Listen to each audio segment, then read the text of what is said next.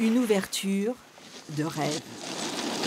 Ce week-end, les premières descentes de la saison sur les pistes de Valberg se sont faites dans des conditions idéales, sous le soleil et surtout sur une bonne couche.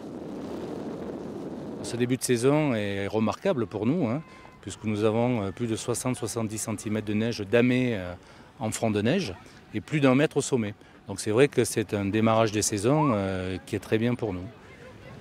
Pas de foule excessive ce dimanche. Les amateurs de glisse ont ainsi pu profiter du domaine en toute tranquillité. Cette station est depuis toujours très prisée des familles qui y viennent et y reviennent. Super, il fait super beau, la neige est bonne, euh, c'est génial. On apprend le ski euh, aux enfants, on s'éclate, il y a du soleil, c'est parfait. Nous on vient tous les années depuis euh, longtemps, depuis qu'on est tout petit on vient là et pour les gosses c'est parfait. Très familial, très sympa, convivial, voilà, avec un nouveau front de neige cette année qui est super pour, pour les enfants, enfin pour les familles, c'est top. Effectivement, le front de neige a été totalement transformé, doté d'un double tapis qui rend les pistes encore plus accessibles à tous. De quoi satisfaire une clientèle très fidèle qui réserve d'une année sur l'autre en s'y prenant parfois très tôt. On a encore pas mal de réservations là qui arrivent pour euh, Noël, plutôt en court séjour maintenant.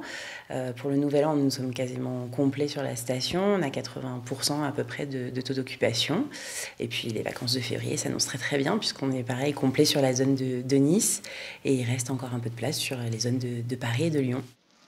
Bonne nouvelle supplémentaire pour les fans de Valberg, la neige va retomber en fin de semaine. En y ajoutant celle de culture, la station devrait rapidement pouvoir ouvrir la totalité de son domaine.